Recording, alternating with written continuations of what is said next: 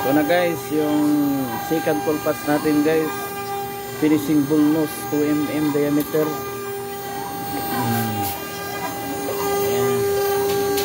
Sa 45 ano tayo degree. Angle, 45 angle. Ayan guys. Second pull pass na po tayo ha.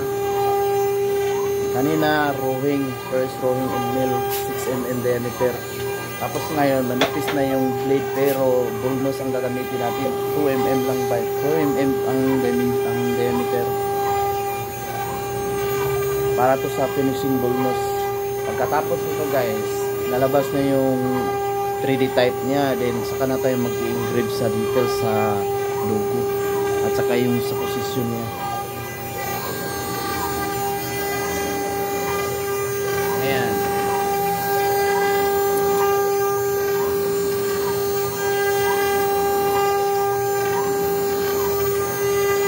Nakikita nyo bakit sa nagsimula dito sa gilid. Dahil raster to guys. Tapos nilagay ko sa angle niya 40, 45. So dito siya sa gilid mag-start. Kasi yung first mill ko guys dito, ganyan siya raster, ganyan.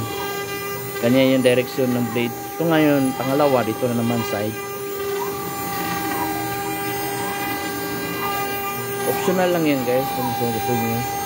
Pwede man din balikin nyo yung, yung dati yung first na raster type na nakaganyan. Pwede sa, depende na lang sa inyo. Pero gusto ko kasi nandyan, nandyan sa kilid. Kasi finishing to eh. Finishing na yung bulmas natin kailangan maganda yung resulta kaya ganito ang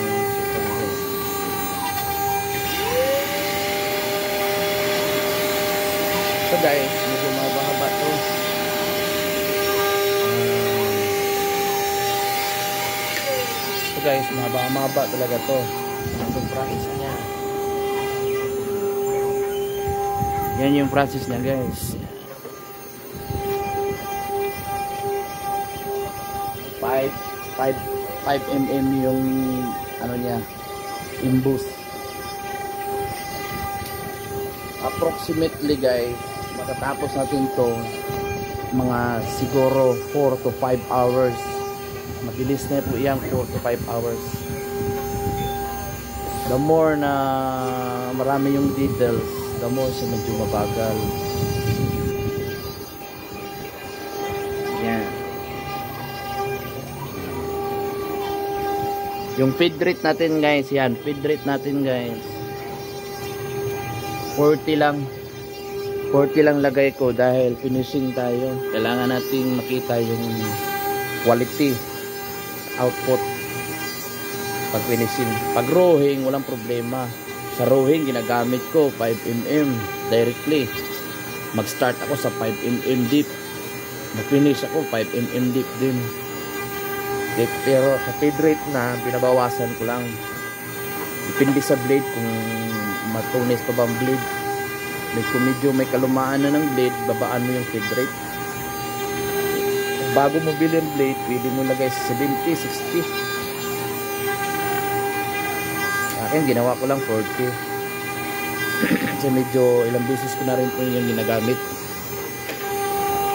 So guys so, umisin natin kunti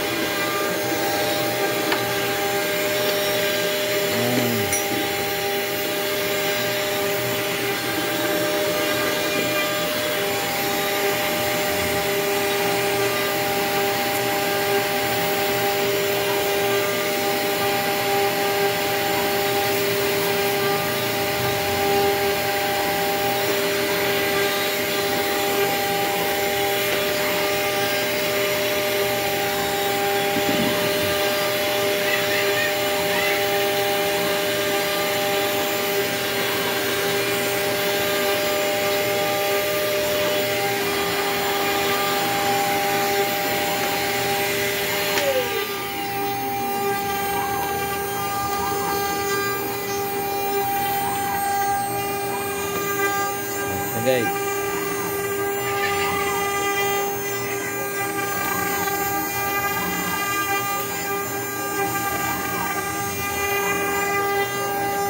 Medyo matagal-tagal talaga ito guys.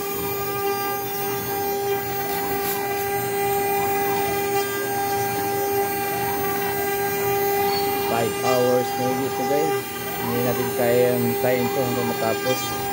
Kuha lang tayo ng maliit na video presentation lang makikita nyo na ito na po yung second tool patch natin. Ganun lang po. So hanggang dito na po ngayon guys no? Balik na lang tayo maya maya pag nasa kalahati na tayo.